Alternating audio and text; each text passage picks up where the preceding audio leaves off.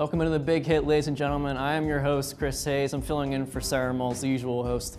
I'm the host today. We're going to start off with spring training on today's show. I'll be with Sean Fritz, Dennis Canis, and Jared Brown talking about all things spring training leading up to the baseball season. After that, it's NBA All Star Weekend, talking everything about the, from the dunk contest, the three point contest, the skills competition. I'll be joined by Jose Villanueva and Kevin Bohan. Then we got the Valentine's Day segment. It is Valentine's Day after all. Um, this is the Valentine's Day episode. We're talking about Valentine's Day on this segment, no doubt about it. Sarah Moltz and Jarrett Johnson. And then finally, you're not going to want to miss this. Wait till the end. You got to wait till the end for this. It's the big hit dating show, the first one ever. We got three NFL players talking to a bachelorette about who they want to go on a date with. So it's, it's can't miss stuff here on the big hit today. Wall to wall, packed with action. We'll be right back here on the big hit. Stay tuned.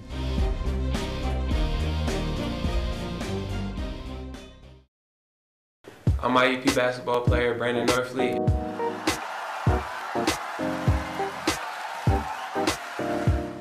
And this is the big hit.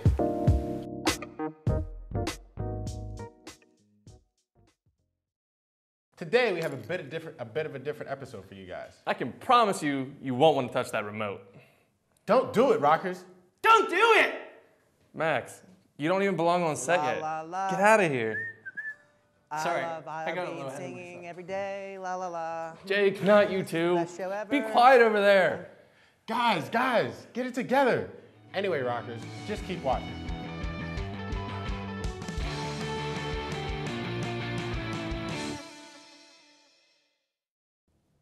Welcome back into the Big Hit, everybody. My name is Chris Hayes. I'll be your host for this segment. We're talking Major League Baseball here, specifically Major League Baseball spring training. I'm here with my friends Sean Fritz, Dennis Canis, and Jared Brown. Let's get right to it, guys. Uh, baseball right around the corner, as we all know. Uh, pitchers and catchers reported for a lot of teams today. Um, after an offseason filled with tragedy, unfortunately, with the losses of star pitchers Jose Fernandez for the Marlins, Yordano Ventura for the Royals, um, very sad. Um, filled with tragedy in the offseason, but we're back to baseball now. What is a personal spring training storyline that you are following? We'll start with Sean. For me, it's honestly, especially in the National League, is anybody better than the Chicago Cubs? I think that's something that we're going to see throughout the entirety of the season. Um, for me, obviously, the Cubs have to be one of the favorites, if not the only favorite, uh, to go to the World Series again in October. Um, we all know about the terrific, you know, comeback they had in the World Series this past year, uh, coming back from a 3-1 deficit and winning the Game Seven uh, in Cleveland. Uh, that was obviously a big win, first World Series in 108 years or whatever it's been for Chicago. You look, take a look at their roster. Clearly, they've got all kinds of talent. They've got a boatload of it, and they've got a lot of depth. Uh, the question is: Is anybody able to knock off the Cubs in October? Uh, two years ago, we saw the Mets knock off uh, a pretty good, well-rounded Cubs team. Uh, not the team they are now, obviously, but a pretty good Cubs team. A lot of the same pieces were there at the time. Can we see another team get hot like that at you know any point throughout the season, let alone in October? That's going to be the biggest storyline for me because I think you look at it on paper, in Chicago by far, hands down, is the best team in baseball. And they, they missed Kyle Schwarber last year too for the whole and- year. So with him back, we'll see how they can even get even better. And, and another thing about the Cubs too is, you know, they've got a lot of these big pieces, whether it be Rizzo or Bryant, Jason Heyward they re- they acquired last season, Schwarber. They've got a lot of really good pieces. Can they create this dynasty before free agency sets in? That's going to be another one too to watch out for. Not only just this year, but in the coming years before one of these guys becomes a free agent and might you know be swayed somewhere else. Yeah, um, I would have to go with the Washington Nationals, uh, a team that's been for the past three years, maybe as talked about, uh, a World Series favorite, but they haven't even been able to make it out of the first round of the playoffs. Um, I know this year they weren't able. So far, they haven't been able to acquire a closer. They let go of Papelbon, so I feel like they're in a big hole right there, and they haven't signed anyone to go with Bryce Harper. And I really feel like going into this season and how the season ends, that this should be the season where it's either we continue to try to build on what we have, or we start getting more pieces and trading away other people and rebuilding. Think about Bryce Harper too. He has like a year or two left on his contract. Yeah. contract. This is pretty much their year. I mean, he's a free agent in 2018. I mean, I'm hearing rumors of a possible 400 million dollar contract for Yeah. Bryce Harper. A lot of speculation him Yankees. going to the Yankees, right? Yeah. Oh, I would. I could see him going to the Yankees definitely. Uh, well, I'm happy you brought up the Nationals because what I'm excited about this whole postseason is Bryce Harper. I, like you just said, Chris, he, he might be the first billionaire athlete just off contracts. But also, I'm excited to see he kind of has to do some rebuilding. I mean, he his batting average dropped from 330 in 2015 to 243 in 2016. So that's almost a dropping a full point in batting average. Uh, I don't think it was ever official. I don't think he ever had injury problems. He was never pace, placed on a DL last year, but he- I don't know what his problem was, and I'm kind of excited to see was there an underlying issue? Did he just slump? And also, like you said, Sean, uh, the Cubs, they are the best team in the league, but you have potentially with the Nationals two Cy Young finalists and two MVP finalists. So with a staff like that, if Bryce Harper could turn it around and start hitting the ball like Daniel Murphy, those are your two MVP finalists. I think Washington, if they can get a complete healthy season from all their major pieces, including Bryce Harper, they could they could be the only team better than the Cubs in in the same league. I wish they were American League so we could see a great showdown in the World Series, but I think Bryce Harper, he's going to be a big deal this offseason. I'm really excited to see what he does. And, and that's the thing with Bryce Harper too. I'm glad that you know we mentioned him. Harper, obviously, his numbers in average went down last year. The power numbers are still there for him. You know, he still produced at the plate. And Daniel Murphy picked up a lot of the slack for Bryce Harper last year, especially with the batting average. He had an MVP type year. Right, he had, and he had power numbers of his own too. So it'll be interesting to see if you know Murphy isn't what he was last year, and obviously that's going to be a very tough thing to do because nobody you know hits like that every single season, unless you're you know someone like Ted Williams, someone who's a Hall of Famer, one of the greatest hitters ever. I don't know. I don't think Daniel Murphy is one of the greatest hitters ever, but you know for such a hot year that he had last year, it'll be interesting to see can Harper pick it up if Murphy does slack. I think it's another storyline to watch with Washington. Yeah. We talked about Bryce Harper. We're going to mention three other guys. Mike Trout, a guy who could possibly be one of the best players of all time when it's all said and done. Harper, Trout, Kris Bryant, Carlos Correa. All these guys have one thing in common. They're all number one prospects at one point. Um, going into the season, the 2017 season, um, the MLB released their annual top 100 prospects for 2017, as we all know. Gives, gave fans a chance of who they believe will make an impact from day one of the season. Who's a player we might know today to look out for, a prospect? Maybe, maybe he saw Major League action last year. Maybe he didn't see any Major League action yet. Dennis, I'm going to start with you. Who's a guy that you're looking out for, a hot young prospect? Uh, I'm gonna have to go with uh, J.P. Crawford, uh, short uh, a shortstop for the Phillies. Um, he's been he's been in the minors since 2013. He had a slow start, but ever since that he has ever since he's been drafted, he's been on the top 100 prospects. And the past two seasons, he's been in the top 10. Uh, he's just been hitting great. He's been hitting uh, 276 for the past two years consecutively. I just feel like once he comes up, he's really going to impact uh, a big, a good uh, leadoff hitter for the Phillies. Uh, my, my minor league prospect, who I am extremely excited about, is Austin Meadows. Uh, he's produ- in over 100 games at the Indianapolis Ind- Indians, uh, an affiliate for the Pirates. He's produced over a batting average of over 300, and he's currently ranked sixth on uh, the MLB's top 101 prospects. Um, the only th- he should be in the ma- majors already. The only thing stopping him is that the Pirates have arguably the best outfield in the in the uh, MLB, so there's no room to bring him up. But uh, there's also Andrew McCutchen, who's kind of on the trade block. He's still in Pittsburgh, and I'm pretty confident he's in Pittsburgh to start out the season. But as the season develops, you might see McCutchen, maybe Marte or Polanco get sent off somewhere, and uh, Austin Meadows can bring in, could fill that spot for them because uh, we all know that Pittsburgh, of all people, needs pitching. So I do think that the Pirates are going to have to lose one of their stud outfielders to kind of rebuild their pitching staff, but Austin Meadows would be a great fit in Pittsburgh. There's a lot of talk about if McCutchen plays well this season and the, if the Pirates don't perform well, they'll trade him for like a, as his peak value and bring up Meadows. So we'll see what happens. Yeah. Sean, who you Uh, yeah, for me, I'm going to say uh, Dansby Swanson, shortstop for the Atlanta Braves. The Atlanta Braves franchise right now is in kind of a delicate stage. They nobody really knows what they're doing. They're kind of acquiring.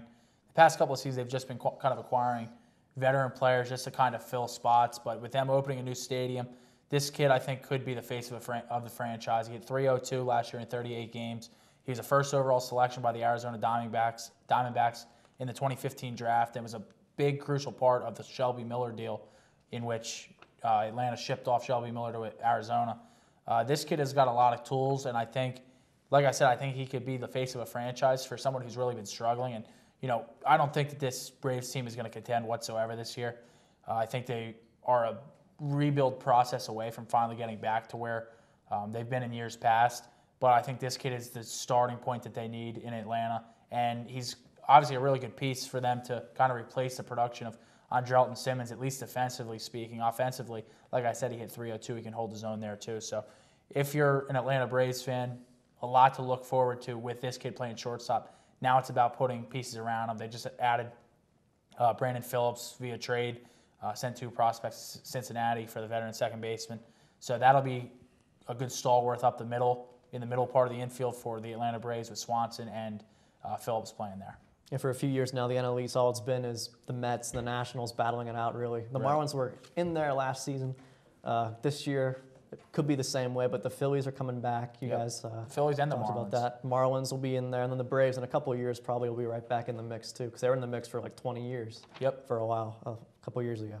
Anyway, off-season acquisitions we're talking about now. There weren't too many of them uh, the- over the off-season. Not too many big names moved uh, teams, but if there's one you could you could uh, predict or not predict, you could uh, talk about from the off-season. Brownie, who was a big one for you? Um, I'm actually really excited about uh, Chicago shipping off Travis Wood to uh, Kansas City for two reasons. One, uh, Travis Wood's an interesting player in himself. He's a uh, setup man in the bullpen that is very likely good enough to be a closer in almost every other city except Chicago, who had who went and picked up uh, Aroldis Chapman. But uh, so I'm also interested to see how Travis Wood is going to do as a closer in Kansas City. And also, Kansas City's an interesting team themselves this year. They're kind of falling off the wagon. They're dwindling. They're not really a World Series contender anymore. So I'm excited to see if any acquisitions and any move, if Kansas City still has it, because they're what I think I read they're the second or third oldest team in the MLB. So there, uh, there's a lot of uh, exciting, interesting things happening in Kansas City. So I want to see if Travis Wood could get it done as a closer, if he's just a career setup man.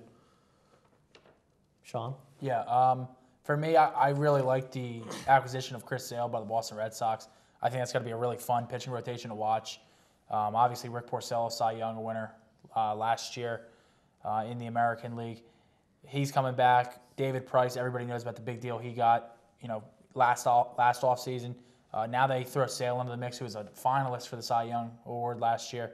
Uh, Sale obviously had some issues in Chicago uh, with the White Sox uh, and management. They didn't really get along that well. And obviously, it doesn't help that when you're not contending uh, for a division or for a playoff spot, and Chicago wasn't.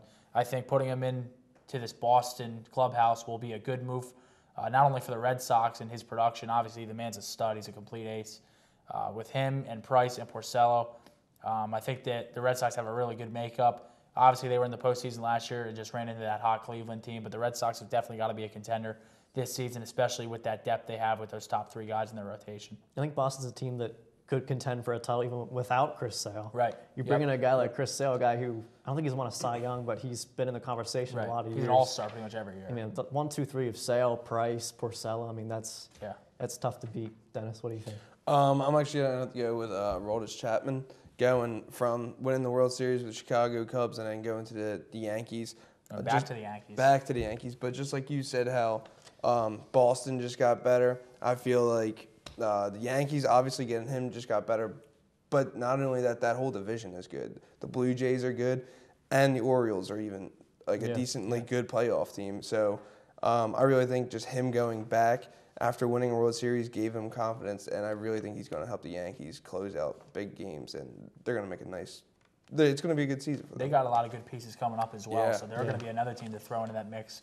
Where I don't know if this particularly is their year, but definitely a year for them to really develop some of this talent that they've got in their farm system. Uh, I think they're going to be a really fun team to watch. I think they're, they're going to compete as well. Yeah, there are guys like Clint Frazier coming up for the Yankees. What that catcher too? What's their catcher's name? I don't don't recall his his name immediately. I don't remember. He had a great year last but yeah, year, though. He did have a great year. Um, we'll see what the Yankees do this year. The only team in that division that's really not too good is the Rays. The Rays, yeah. Yeah, but they'll be on the up and up probably in a couple of years soon, soon also. Last question. We've talked about this before the segment started. It's a very hot button issue. Uh, baseball's been in the news lately, not just for spring training, but also they're planning to experiment with a rule change in the minors this season. They're going to start on the minor league, see if it is successful, if people like it, and it could go to the major leagues, but we're not sure about that yet. But the rule is each team will be able to start with a runner at second base while in extra innings to try and speed up the end of the game. Uh, I think I know the answer to this, but do you guys like this rule or not? Sean, go ahead. Absolutely not. Absolutely not. I we like we talked about this before we came on air. Um, I understand why Major League Baseball wants to try to speed up the game and they want to keep people involved because you talk to most people nowadays who aren't you know real baseball baseball guys as we would call them. Um, they the one thing they hate about baseball is that oh well, I can't sit down and watch a game. It takes too long. But that's the beauty of baseball. Baseball is timeless. It's the only game that's played where there is no clock. It's always been like that. Exactly, and that's how it's been. It is the purest form of sport because of that. Um, and I think trying to speed it up, I have no problem trying to speed it up during um, commercial breaks. You know, now that they have this uh, the two minute clock or whatever it is between commercial breaks, where the guys got to get on the field and get loosened up. I'm fine with that, but as far as gameplay goes, absolutely not. I think first of all, it's an advantage for both teams that really kind of counteracts each other because if you think about it, both teams have a man on second with no outs. Major League Baseball team should be able to bring that guy in, obviously. And what's the difference between he starts at second or he starts at at first? It's just increasing more defense, which I like, obviously, defense and pitching to be able to hold that guy. But at the same time, I don't think that there's any room for baseball to be um, played with in that manner. Uh, like we, like I just said, it's timeless, and that's the beauty of it. Yeah, I honestly I have to agree. Absolutely not. I didn't like when they did the clock, like you said. I didn't like when they added in the review. Baseball is it is a game I feel like that should not be touched, and if it's not broken, there's nothing to be that needs to be fixed. It's a perfectly fine game, and if you don't like how long it is, then watch another sport.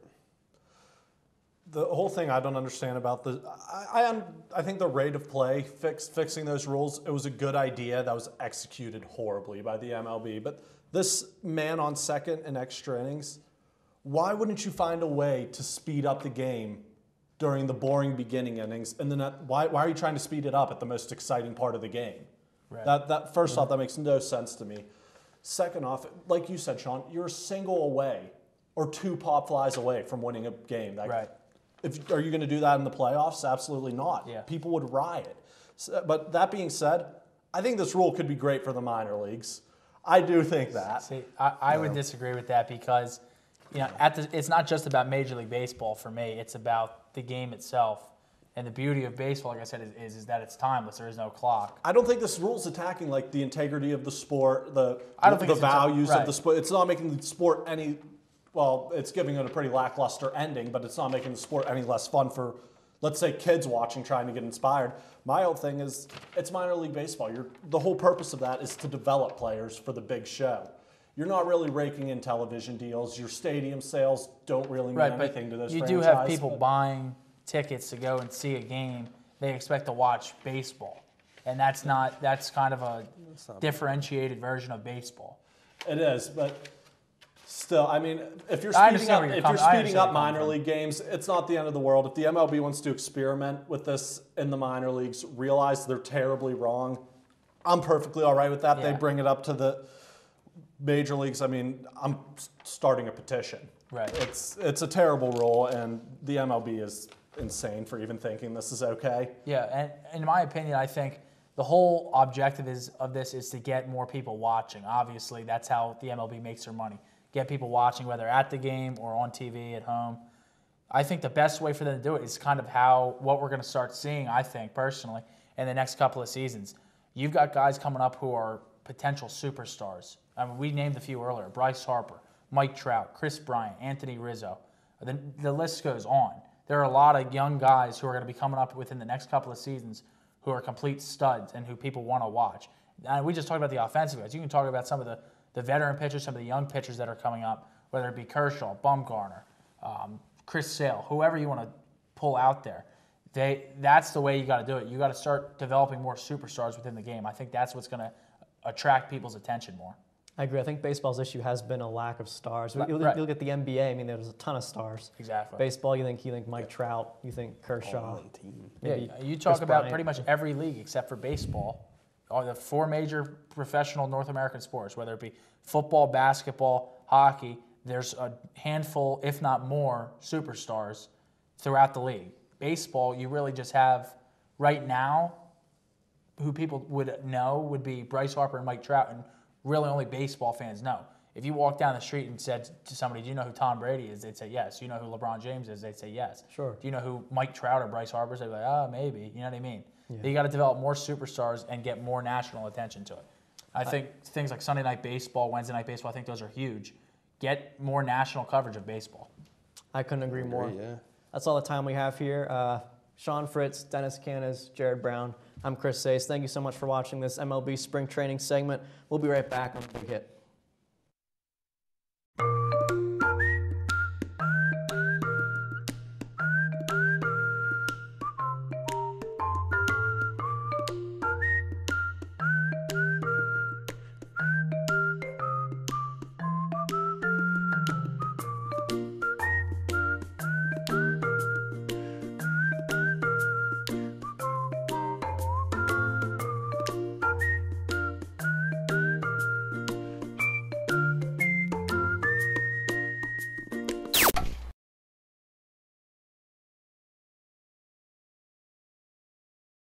Here at the Big Hit, we like to be prepared because sometimes technology doesn't always work, so we do what we can. Hey, Sean, hit him up.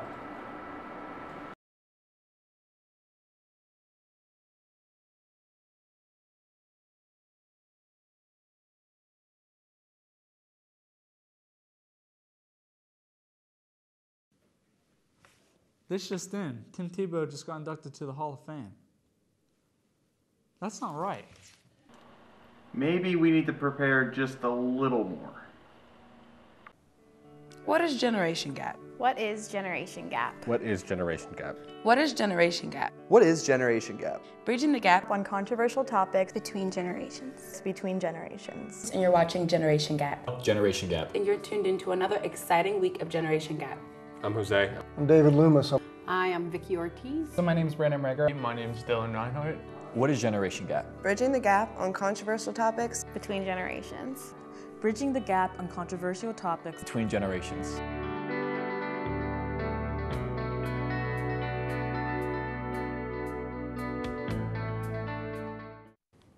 And welcome back into the Big Hit once again. I'm your host, Chris Hayes. I'm here with Jose Villanueva and Kevin Bohan. We're talking about NBA All Star Weekend coming up this weekend. One of my favorite weekends in sports. I love the NBA All Star Game and everything that goes with it. Let's get right to it, guys. The NBA Skills Challenge is the first thing they usually do. That'll pit the craftiest big men versus the swiftest point guards. Last year, Karl-Anthony Towns, the young Minnesota Timberwolves forward, won in the final seconds of that. Will he reign supreme again, or who has the best chance to dethrone him, Jose? Uh, I don't think he'll win this year, but uh, to tell you the truth, I think it's going to be Embiid or Porzingis. Both of them have exceptional ball handling skills for someone as big as they are. Uh, I'd love to see Isaiah Thomas win. I think he's the second best player on that on the point guards uh, squad. But you know these things are too fun for the big guys. They, they they know no one knows how good they are, so they like to show off. And I think it's going to be uh, Embiid or Porzingis. Yeah, I agree with you there, and the fact that it's going to be a big guy because, like you said, I think the big guys really want or go out to prove something in this contest because they don't get the chance to do it enough. That being said, I'm going to go with Anthony Davis. Played most of his career in high school as a point guard, so he got he's got those ball handling skills. And then after he hit that growth spurt, obviously when he went to Kentucky, he's become one of the best big guys in the league. But the guy's still got some handle, so I could see Anthony Davis pulling this one out for yeah, sure. Absolutely. It'd be cool to see a big guy win again. But I'm going to go with Isaiah Thomas, like you said, a guy uh-huh. who not many people think about, not many people talk about for Boston, but he's been really good, having a really good year. He can handle the ball pretty well, no doubt about it. Next, the NBA three-point contest is next. One of everyone's favorite things. Maybe it's besides the dunk contest. People love the NBA three-point contest. And one guy that you think with the NBA three-point contest is Steph Curry. He's not going to be in it this year. He's not going to participate anymore in this season. Who do you think is the best three-point shooter in this not named Steph Curry? Um, to be honest, I don't remember if he's in it or not, but I would say James Harden is the best three-point shooter in the NBA. Uh, I think he's consistent when he gets his looks, and um, if he wasn't the point guard this year, I think he'd be hitting a lot more threes. Yeah, I could respect that James Harden opinion, but um, well, first of all, can we say that it's it's embarrassment that Steph Curry's not in the contest? Everybody, you know, Yeah, everybody in the league wants to see. People shooting are out watching to see Steph. Yeah, to see Curry. Steph Curry shoot. But anyway, I'd, I'd have to go with um, Steph's teammate Klay Thompson, who I personally think is going to end up being the second best shooter ever. I don't know to about play that. basketball after after Hot Steph when takes. they're when they're all done. I don't know I'd- about all that. I'd I say don't know that'd be. about Look at their stats. The guy, Nah, the guy, Ray the guy Allen. can shoot. Ray Allen. Eh, That's a good point. Ray Allen was solid. like I, like I was saying, I'm going to go with Klay Thompson on this one. Could be the best shooter in the league if it wasn't for his teammate Steph Curry. So look for um, Klay Thompson to um, possibly repeat. Did he win last year? Klay? No, Steph did. Steph won last Yeah, year. Steph Klay won won the year twice in a before then. That then. I feel like Klay won at some point. Yeah. Yeah. they usually just trade it off. So Yeah, Klay's a decent pick. I don't know if this guy's in it, but Kyle Korver's a guy who makes a lot of threes. I mean, Yeah. I'm out of touch with NBA. I don't really watch much NBA, but I know Kyle Korver's a guy. Traded to Cleveland a couple weeks ago. He can shoot threes too. And the main event, the NBA Slam Dunk Contest. People are looking forward to this every single year. We all have our favorite memories of the Slam Dunk Contest. This year, uh, reigning champ Zach LaVine will be not be participating, excuse me, but Aaron Gordon, a guy who played well last year, will be back. Is he going to take it, or is somebody else going to win this NBA dunk contest? I hope Aaron Gordon takes it. He should have took it last year. The way he jumped over the mascot, going like sitting down. He literally sat down, put the ball through his legs, dunked it, and like eight feet in the air. I don't know how many people six ten or taller can do that, but I hope he does something crazy like that this year. Uh, actually, Jose took the player and even the dunk that I was going to mention about there. I mean, it's just, yeah, I, it was an absolute joke that Aaron Gordon didn't win it last year. He did pretty much the same dunk Zach LaVine did Yeah. in, in the last round with Mhm. more difficulty, and they still gave it to Zach LaVine. So I, I think Aaron Gordon's going to come out angrier this year with, uh, with a few more tricks up his sleeve than he had last year. So it should be exciting to watch. I agree. I think the same thing. Gordon should have won it. That dunk was ridiculous. I mean, Zach LaVine has had his fair share of good dunks in the NBA dunk contest too, but I think last year was Gordon's to win. I think he will win it this year. Lastly, we're talking about dunks. To kind of mention this last question, what is the most iconic dunk to you of all time in the slam dunk contest? What What do you think of when you think of the slam dunk contest? And what never before seen dunk would you like to see happen at this year's dunk contest? Well, the first dunk that comes to mind when I think of the dunk contest has to be the Vince Carter dunk that started it off all. He came from the left side, he's a righty. He went against the grain and did a reverse 360 with the windmill, and it sent the whole crowd nuts. You know the dunk contest is back. I think he's the greatest dunker of all time. And just, even if you don't have hops, try to do that like in your like socks. Like that's hard. That's really hard. Like jump off your bed, try to do that, and then like imagine Vince Carter doing that. I thought that was the greatest dunk of all time. Um, a dunk I want to see is a 720. I want to see a 720 so bad. I think it, it's happened before. Andrew Wiggins has shown has shown like he can do it. So I'm just waiting for someone to do it. Um, yeah, I, I agree with you on Vince Carter probably having the best dunk contest performance of all time. But with the most iconic dunk ever, I'm gonna have to go with Jordan from the free throw line. I feel like, I mean, look at it. That that, that started a brand. That's Yeah, that's all over the place. That's on shoes and shirts and hats and everything. That basically you can't go anywhere without seeing the Jumpman logo, and that all sprung from that specific dunk. But um, it's not so much as um, what I would like to see, uh, which dunk I'd like to see in the dunk contest. It's people I'd like to see in the dunk contest. I want I want players that should be in the dunk contest to start being in the dunk contest. Why has LeBron never been in the dunk contest? Yeah. Why? I mean, Blake Griffin's been in it once. Guys like now we're starting to get a little. Uh, DeAndre Jordan's in it this year, but I want the top dunkers, Russell Westbrooks and stuff Yeah, like that. I want people like that who attack the rim constantly. For some reason, these players choose to- because they won't get hurt to participate in the dunk contest or whatever. But that's what I want to see in the dunk contest. These players that could do these dunks that are going to be elaborate out there. Yeah, I can't remember the last time somebody actually got hurt in a dunk contest. So I don't know why I LeBron don't and these guys think- don't. I do don't it. think ever. They, they pulled up a guy from the D League this year who, granted, he's he, he's an can- he amazing dunker. He, He he's an amazing dunker, but I, I'm, I'm sure LeBron James would pull a lot more viewers Yeah, than he absolutely. would because I I can't even think of his name right now that I'm thinking of it. Yeah, he's never played a game. Yeah, He hasn't never played a game. They They brought brought him him up for for the D They League. pulled him up for for the the D dunk League for the contest. dunk contest. People want to see the stars. I mean, Yeah. when, when I think dunk contest, I think of Dwight Howard. Yeah. and his Oh, Superman yeah. dunk. Him and. Nate Robinson going at it. Yeah, yes, exactly. Nate Robinson, five footer dunking. It's crazy. I was thinking Zach LaVine with a cupcake the one year. I think he like blew out the candle. He- yeah, off the off the back of the Yeah, ring, blew out the that was pretty crazy too. I'm a big dunk contest guy. We all are here Yep. on the NBA All Star Weekend segment. That's it. That's all the time we have though. Thanks for joining us for this segment. We'll be right back. Jose Villanueva, Kevin Bohan. I'm your host Chris Hayes. We'll be right back on the Big Hit.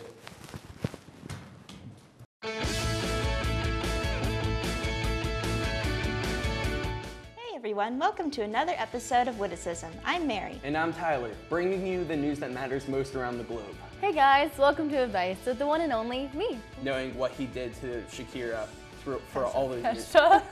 Kesha, I was wondering, I'm like, Shakira? I was so like? confused. I was like, Well, you should probably rethink your standards and accept the fact that society and boys won't love you unless you're hot.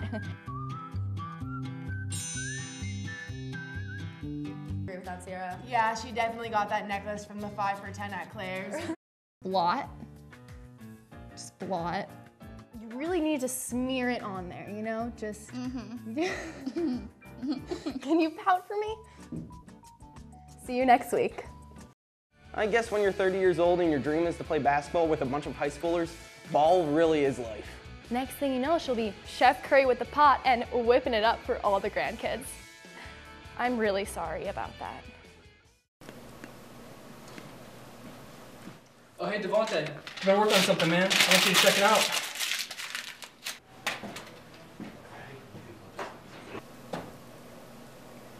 Keep working on that. Okay.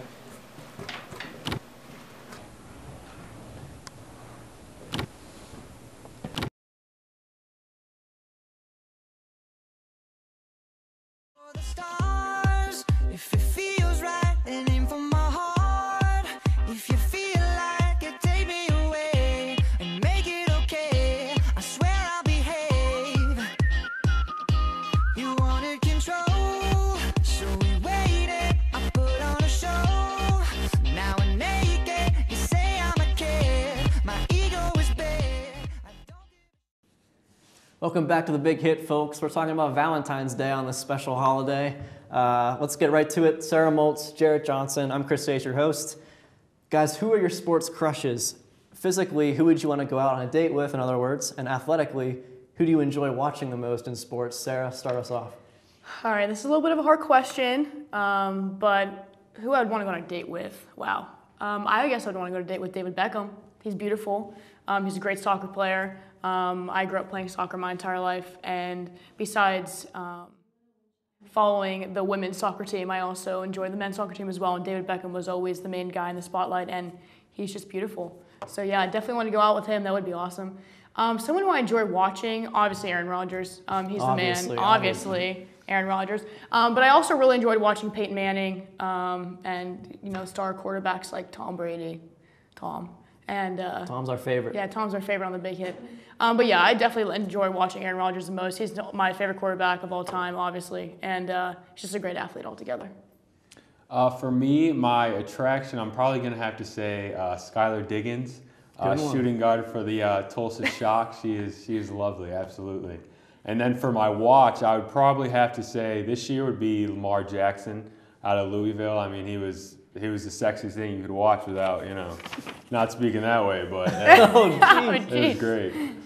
Yeah, I'm a Pittsburgh guy. I'll say I'll say Gerrit Cole for the Pirates is a guy that I admire a lot. He's a good pitcher, uh, good-looking guy too. Uh, also, we, the Summer Olympics were last summer. Uh, we all know Aly Raisman is a gymnast who I've kind of have a crush on. So I'll go with Aly Raisman. Next question though, we've seen some terrific duos in sports. Tom Brady, Bill Belichick for the Patriots, one just won their fifth Super Bowl. In your opinion, guys, who is the most inseparable duo in sports? Jared, go ahead. Uh, if we're talking this last season, I'm going to have to go with uh, Matt Ryan and Julio Jones. Mm. Uh, I think just pretty, pretty much every other game they were they were throwing up something something ridiculous to come back. So that's just my duo. We're gonna go. I'm gonna go back a little bit. I'm gonna go Peyton Manning and Marvin Harrison. Oh, wow. Um, Oh, great nice. team. Uh, you know, they connected for 112 touchdowns in 10 seasons together with the Colts. Um, when I think of the Colts back in that time, I think of those two for sure. Uh, they won a Super Bowl together. They've been at a nine out of the 10 playoff runs together. Um, Harrison went eight straight seasons. He put up at least like 10 touchdowns, uh, receptions with Manning and he caught like over 950 balls with Manning for like 12,000 yards. So stats don't lie. Great duo, those two. Manning Harrison's a solid pick for sure. Yeah. I'm gonna go out on a limb and say Seth Curry, Klay Thompson for the Warriors, the Splash Yeah, Brothers. that's good. They're called brothers for a reason. They drain the threes all day, every day. they, they won their championship a couple years ago, lost last year. They might win again this year with Kevin Durant in the mix. So that's my pick. Lastly, in recent history, there have been some difficult sports breakups between players or players and coaches, players and teams. Whose breakup has been the ugliest out of all of these you can think of, and why, Sarah? Well, there's two that came to mind. Um, one was Terrell Owens and back in the day when he just broke everything up possible. Um, it's kind of a shame because he was a great athlete, but he just, every team he was on, he just couldn't stay on. You know, when he was first at the 49ers, he had a messy contract. He started fights with uh, Garcias at the time when he was head coach. Then he went to Philly, and then after one season, he like wanted to negotiate deals. He wasn't happy, of course, T.O. Um, and then he like went out and slammed Donovan McNabb and talked bad about him. Can't talk about your own, you know, teammate, especially not the quarterback. Yeah, it didn't go over well in Philly. And then he went. He started crapping Dallas as always, with you know him messing around, and then Eating him the you know touchdowns, popcorn, popcorn, yeah. dancing all every time he scored a touchdown. So and they spit in DeAngelo Hall's face. So I think that you know unfortunately he was just someone that always had the ugliest breakups. And then LeBron James leaving Cleveland the first time. That's a good That one. That was ugly. Um, he should have never left. I think everyone hated him. Um, after that time, he went to Miami and played, you know, was with uh, Wade and Bosh. But then he came back in 2014. Two years later, he wins the championship with the Cleveland Cavaliers. But yeah, he should have never left the first time. But I They- guess they it got was okay together. to live, They got right? they got back together, so it it wasn't out. too ugly. Yeah. But they made it through. Um, I'm gonna have to go recent with the uh, the KD uh, whole Westbrook situation. Oh, situation. yeah. Another good one. Because when I mean you talk KD, he's I mean he he got drafted by the Supersonics. Like this man is the face of Oklahoma City. Like people knew him for what he was there for. Yeah, anytime they went to a uh, playoff game, a championship, you knew KD was putting up big numbers in that game. Uh, so I think him leaving was just a, a huge uh, ordeal, obviously. I think so too. We talked about NBA players a lot. I'm going to go back to NFL and talk Okay. about your Packers and Brett Favre. Oh, yes. The way Brett Favre Yes. handled things in Green Bay. All right, um, let me kind of rant for a second about that. That was going to Yeah, be my next one ahead. too. How can you? Okay, first of all, I know they were like, you know, Aaron Rodgers was the backup. You know, they were basically trading him. You know, getting ready to take Brett Favre to the Sure, curb. yeah. Okay, after a couple seasons, you know, he had a great couple seasons. In the last like two or three, he was not doing so well. Then he goes to Minnesota. What? He goes to Minnesota, right? Or did he go to the Jets? He went to Minnesota first. I think so. So, so you go to a team in your division. Sorry, dude. Like to me. Well, he, No. he, just, he just wanted to play. He wanted to play. Okay, so then he's like, okay, I'm gonna retire, and then he's like, wait, just kidding, I'm gonna come back. And then he comes back and he goes to a team that they that are rivals in their division. Okay, I guess whatever. And then he goes to the Jets and he does crappy in both. I'm like, dude, just I'm done. I'm done with you, Brett Favre. But he will always be one of my favorite retired players. I mean, he won a Super. Bowl with Green Bay. He Oh, played yeah. well for them for years, and they just kicked him out the door. But it was time to go. Look at Aaron Rodgers They now. made an NFC Championship game, I think, the year before he left. Okay, yes, that's a good point, but And they blew it how just many like more, Aaron Rodgers But how many? Oh, how many more seasons do you think Brett Favre would have been able to s- continue He doing what reached he the did? NFC Championship game with the Vikings when he played for them too. He, he was good. He, he was, was- old, but he was good. It was weird seeing him in a, in a purple jersey. I was. I wasn't a fan of that. I was, you know, wasn't he still number four too? He Yes, was. That was weird. That's so weird. I bet it was weird for you. Yeah, it was so weird. Broke Well, my heart. That's all the time we have on this quick Valentine's Day segment with uh, Green Bay Packers fan Sarah Moltz and Jarrett Johnson. I'm Chris Hayes. We'll be right back with the Valentine's Day game show. Stay tuned for this. You're not going to want to miss this. We'll be right back on the big hit.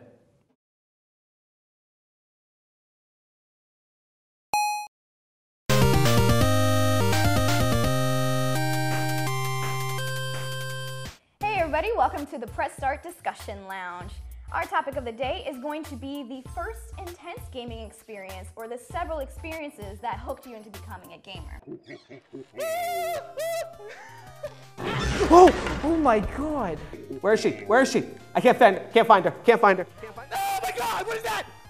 Hey there everyone, we've got news on new teasers for Resident Evil 7 Biohazard, 16 pre-order DLCs for Final Fantasy 15, and PlayStation Store celebrates 10 years with a sale. My name is County and this is your Press Start News Roundup.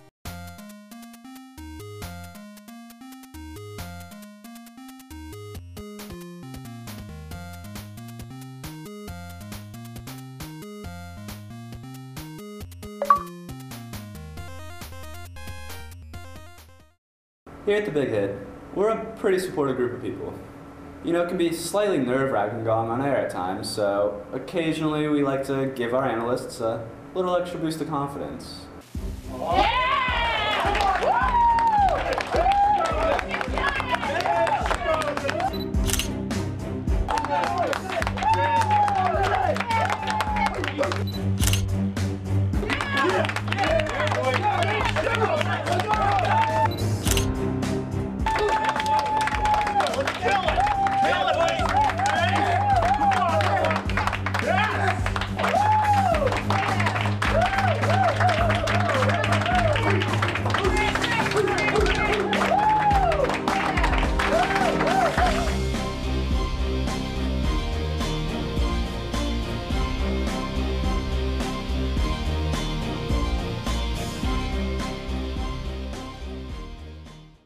If you want to find love nowadays, you don't have to be a bachelor or a bachelorette. Holy sh! If you want to find love nowadays, you don't have to be a bachelor or a bachelorette. You just need to be a contestant on the show. To oh, personally, I'm hurting for the kids of the future that listen to the Hollaback Girl and can't figure out what ABA. Oh my! Obviously, that proves he's uh, Muslim.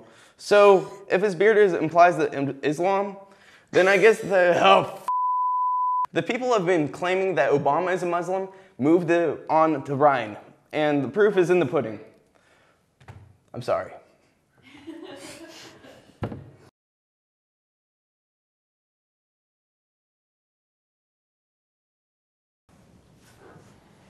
Well, hello and welcome into the first big hit dating game. This is a game show we're going to play where we have on one side a bachelorette, on the other side three uh, willing bachelors trying to score a date with our bachelorette. There are also three NFL players. Uh, like I said, on one side we have our lovely bachelorette. On the other side we have our three NFL players. Bachelor number one, we'll start with. He is a three-time Pro Bowler for the New York Giants, a Pro Bowl wide receiver. Bachelor number two is a two-time Super Bowl champion quarterback from the Pittsburgh Steelers. Bachelor number three is also a two-time Super Bowl champion quarterback, one of the greatest quarterbacks of all time, playing for the Indianapolis Colts and the Denver Broncos. Without further ado, let's get started. Okay, bachelor number one, I'm gonna start with you. I just wanna say that I am so tired of men taking me home to Netflix and chill on a first date. So if we were to go on a first date, where would you take me? Probably on a boat. You know, I like the water. I don't like swimming. I just like standing around it, you know, fishing. Uh, that's pretty much it. Like chilling with my shirt off, hanging out with my peeps Drake and Justin Bieber. That's pretty much it. Wow, okay, an outdoors man. I like that.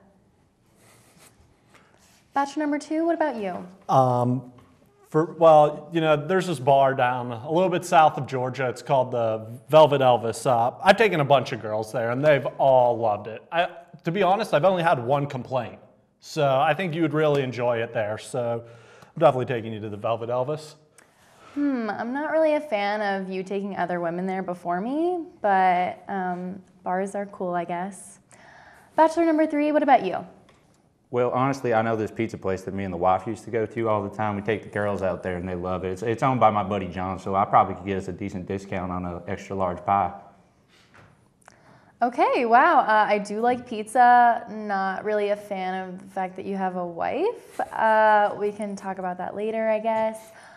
So I'm gonna have to say that I like Bachelor One's answer the most. Um, but I also, I, Bachelor One was good. Bachelor Two and Bachelor Three, not so great. So let's move on to the second question I have for Bachelor number two. I would describe myself personally as fun, bubbly, and adventurous. So, in three words, how would you describe your personality? Um, professional, uh, retired. Actually, scratch that. Um, professional, sh- sharing, and a little bit fat. Okay, uh, you're honest. I like that. Bachelor number three, how about you? I'll tell you three things about me, girl. It's eat, sleep, football. That's it. If you can't get on board with that, I don't know how we're gonna work. Okay, wow. Um, straight to the point there. I, I like that. Bachelor one, what about you? Dance, money, clothes. I'm rich. I'm 23. I don't care about nothing but my money. Interesting. Okay. Um, yeah, well, I'm to have to say that I like Bachelor 3's answer the most because he just knows what he wants in life. I think that was a very direct answer. Um, then I'm to have to go with Bachelor number two. Decent. Bachelor number one, not so great. Okay. Let's move on to my next question. We'll start with you, Bachelor number three. It's really important to me that a man loves and respects his mother. So, are you close to your mom and would you consider yourself a mama's boy? Well, um, actually, my mom liked my uh, my younger brother a little bit earlier in my life, but then I won two Super Bowls too, so I think I'm the favorite again. So I'd say yes. I'm very close with my mom. Okay, good, good, nice. Uh, bachelor number one, what about you? Yeah, me and my mom are cool. She she don't say much about me doing what I do. She just come to my games to support. So we cool, we cool. Okay, nice. Bachelor number two? Um, if I'm being honest, I mean, my mom was about my best friend up until about 09. I gotta let you know, I had a little bit of a run-in with the law, and I haven't really spoke to my mom for a bit. She said it's about something about respect, but you know, I'm still working out, but I love my mother very much. Okay, well, I, I mean, it's unfortunate you got in trouble with the law, but you did tell me that you love your mom very much. So I, I like that answer. So bachelor number two, I'm gonna have to say that you had the, the best answer. And then I'm gonna have to give it to bachelor number three, and then bachelor number one. Okay, let's move on to the next question I have.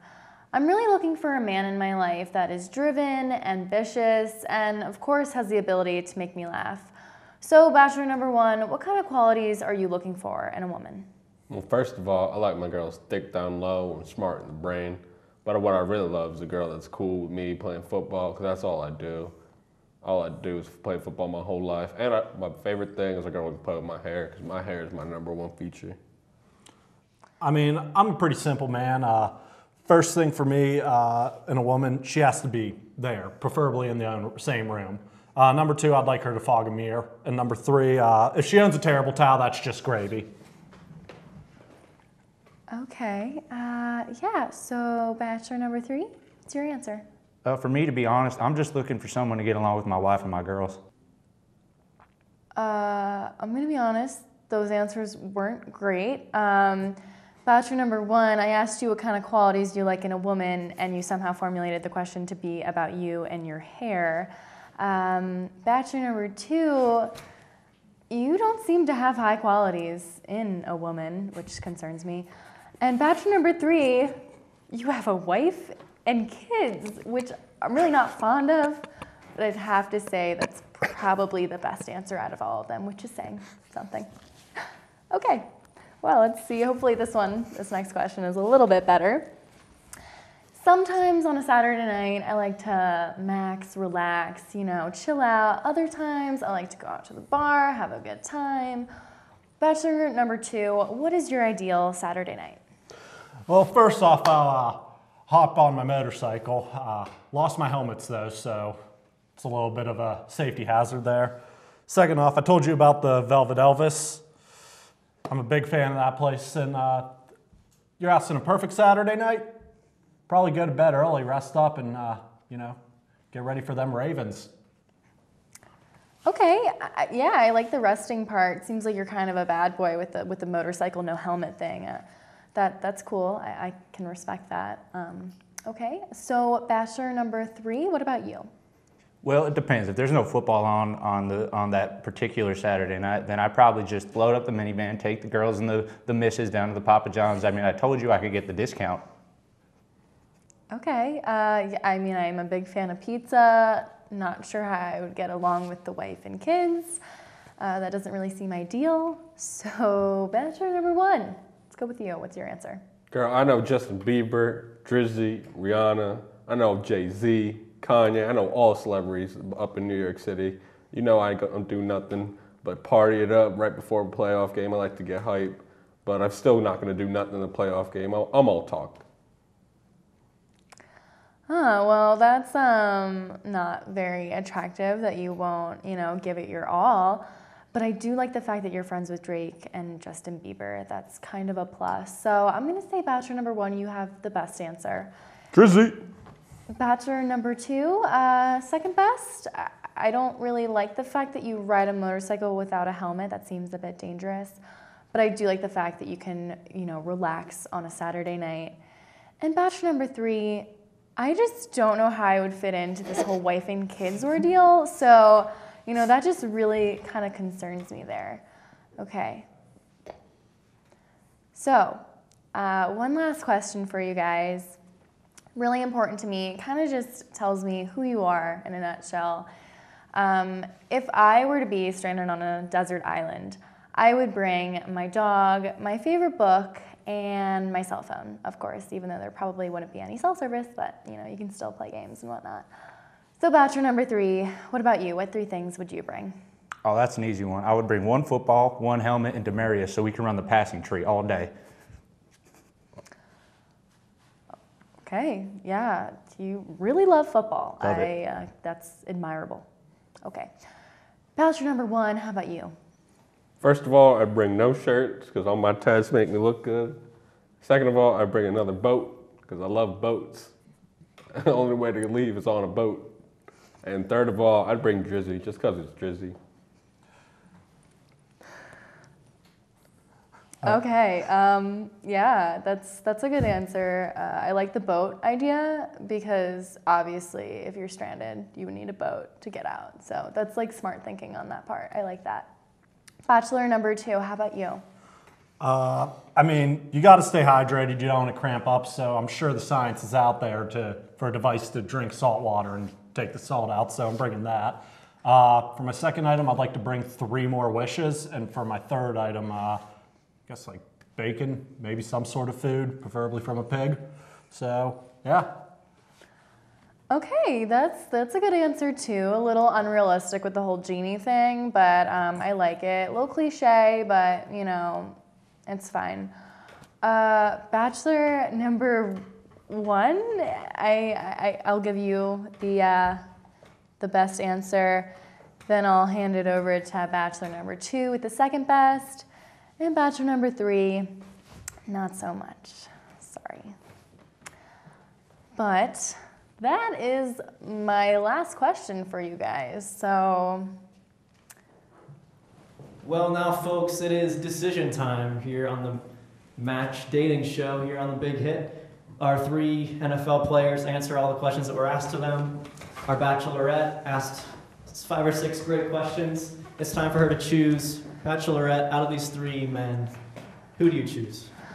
well, uh, it's a tough decision, I'd have to say. I'm going to be honest, none of these answers were great.